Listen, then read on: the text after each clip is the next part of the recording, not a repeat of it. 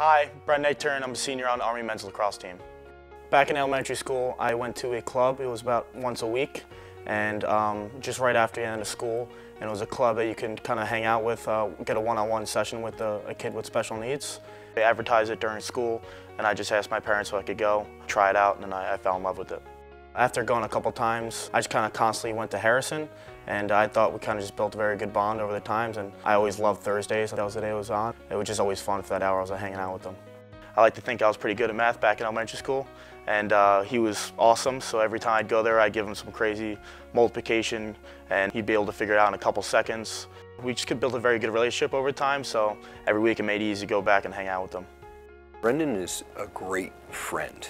He's a guy that I would say is very loyal uh, uh, to the people. I think he also has uh, very high standards uh, uh, for a lot of uh, people. I think coaches, players, he's got, he's got some high standards and he's got a great way of speaking with people.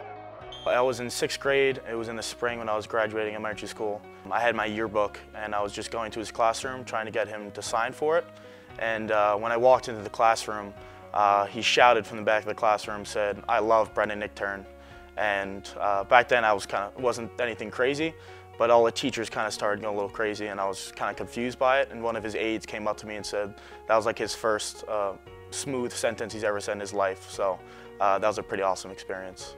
I think it was just pretty cool to, just over the years, is how we've built that relationship and he also sees that. I think the impact that it's had on me is just focusing on the little things, but also just kind of being kind to others. It's something my parents definitely preached growing up, and I think that's the best way to do it. It makes it easy too when you enjoy what you do and hang out with those guys, but I think that just definitely goes into just always being a good person and trying to help others, but it's easy when you're hanging out with Harrison.